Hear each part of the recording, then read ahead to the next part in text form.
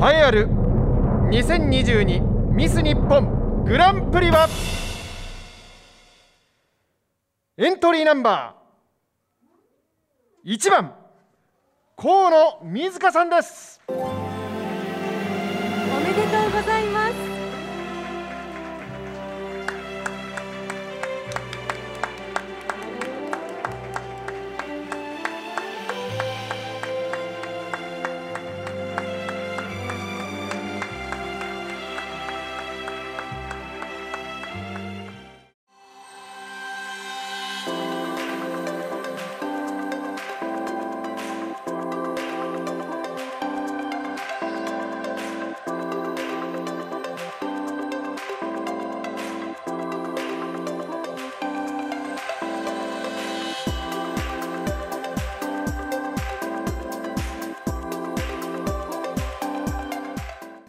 ンプリという大変光栄な賞をいただけて本当に感謝の気持ちでいっぱいです。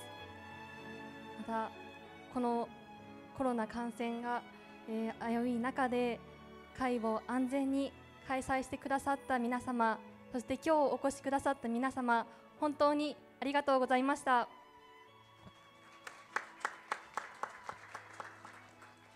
これから1年間河野さん活動をされるわけですけどもミス日本の活動どんなミス日本になりたいと思いますか？はい、自分の持ち前の発信力を生かして人と人をつなぐミス日本になりたいと思います。